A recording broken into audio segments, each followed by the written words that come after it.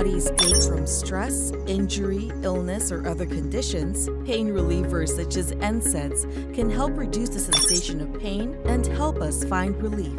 That's because these drugs limit the production of prostaglandins, a hormone like chemical that causes inflammation and sends pain signals to the brain.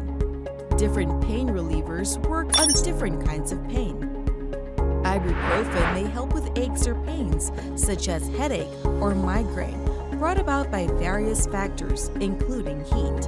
NSAIDs can be taken up to seven days or as prescribed by your doctor, but must be ingested with food to avoid stomach upset, along with getting proper rest, nutrition, and hydration. Also, always make sure you are not allergic to any NSAIDs before taking them. Consult your doctor to know the best pain reliever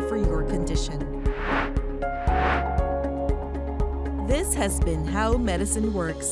Subscribe and hit the notification bell for your healthy dose of care.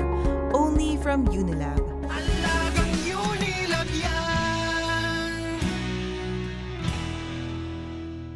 If symptoms persist, consult your doctor.